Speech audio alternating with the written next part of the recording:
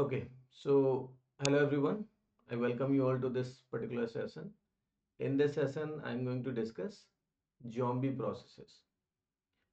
So in previous session, we have talked about the orphan processes. Now let's understand what is a zombie process. Now, as I have already mentioned here is zombie process is a process that has completed its execution. So that means the process has been already terminated, right? But it still has an entry in the process table. So process table is a kind of data section I have already written here. Every process is having an entry inside a data section which is considered as process table, right? So if a process has been terminated, but the entry inside the process table is still existing, such kind of processes we consider as zombie. Okay. Process table contains a number of other informations about the currently active processes like process ID, the process state, priority of then CPU uses, memory uses, parent process ID, and there are other relevant informations, right? So all these information is available inside the process table. Now let's understand, let's say if there is a process P1 is running. And P1 has created a child process. So P1 has created a child process like P2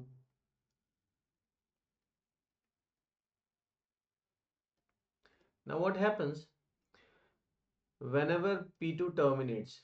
So if P2 terminates, it sends the signal to P1. P1 is the parent of P2. And in turn, the P1 will update or inform the kernel. Okay. And kernel will update the process table. So I'm writing here process table. Right. So let's say you assume there is a process table and all the active processes are having some entry inside the process table. And the index in this process table is PID. Okay. There are other relevant information also which I have mentioned like parent process ID and number of other things are also there. The process status, right? Now the kernel process is updating this particular process table and kernel is getting information about the child process through this parent process. So in order to update immediately the status of any child process, the status needs to first clear to the parent. So if parent will not be aware about, it will not be able to intimate the kernel, right? So I hope you understood the logic. Now what happens when a child terminates, if the parent is not in the situation to receive the signal, the parent will lost the status of the terminated process or child. And in that case, this process, let's say P2 was having an entry in the process table although the P2 will be terminated, but this entry will remain. And then P2, uh, not P1, P2, this P2 will be considered as zombie process or defunct process. Okay. Zombie or defunct.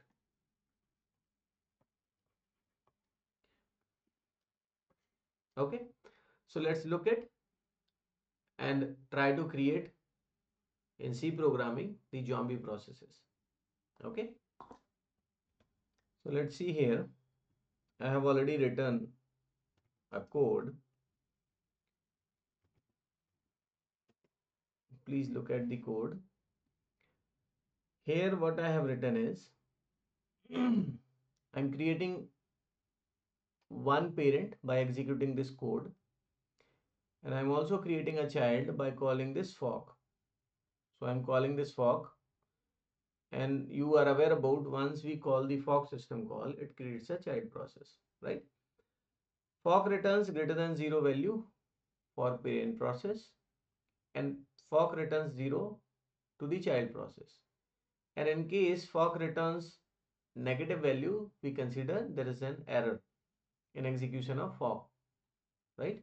So the child process was not created so i have created three sections one for parent process where i'm checking pid is greater than 0 that means it is the parent section.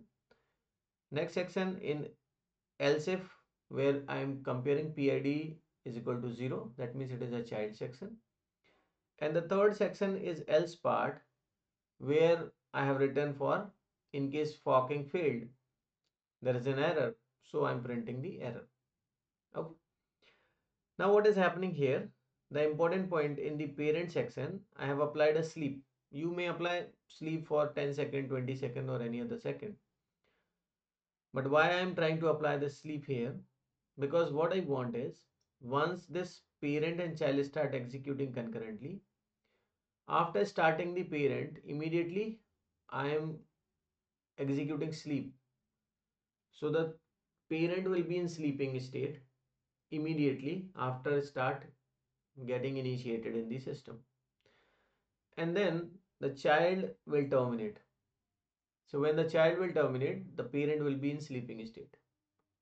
So the exit status of child will not be will not be able to handled by the parent because parent will be sleeping.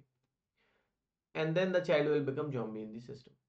Okay so let's execute this code I'll provide this code in the uh, comment section also. So you can copy the code from there and you can execute in your system. So let's look at it. Now if you want to compile this code, we use GCC compiler and let's say we compile. There is no error. So a.out file must be generated. Now because we want to check the status of the process which I am going to create better to execute or run this particular code in background. So you know that in Linux, if you want to execute any command in background, you need to put ampersand sign. So I'm putting it. Now I am running it.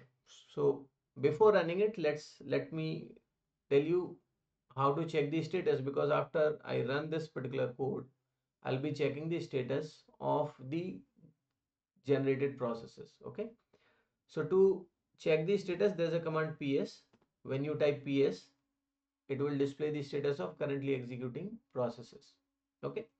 If specifically you want to display some of the output then you use hyphen o option in ps and let's say i want to display pid ppid let's say stat or maybe command.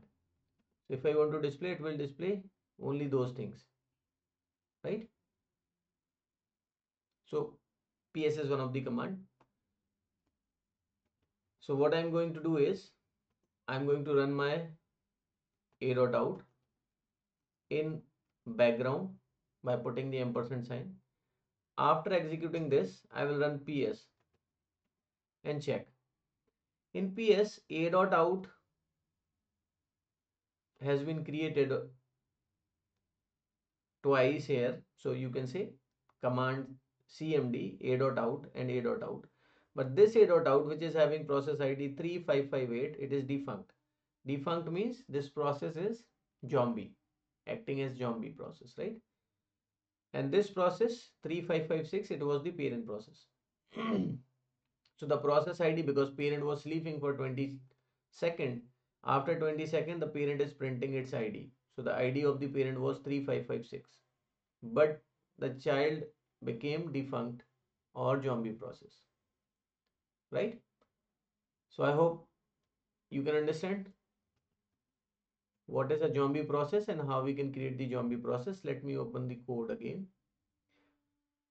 And how to solve this particular issue, we don't want that zombie process should be created inside the system if you don't want to create zombie you need to use wait system call which we have already studied so forcibly we need to ask parent to wait for its child termination. Okay. So we need to apply wait in parent process. So let's say this is the parent section. If you don't want to create zombie processes, then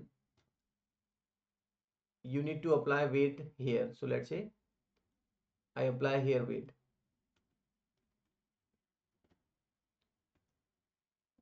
And wait requires some pointer or integer pointer to maintain the status. So if you don't want to pass anything, you can pass null here. And when you call wait, you need to include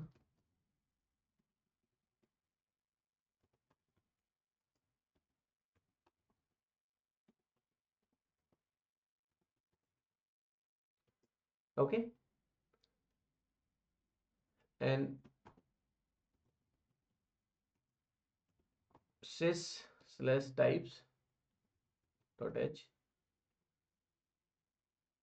Now I have applied wait system call inside the parent process. Let's see what happens. So if you again compile this it has been compiled properly now I'm running it by typing dot slash a dot out. I want to execute this in background, so I'm putting ampersand sign. And then I'm checking through PS. Now you can check it.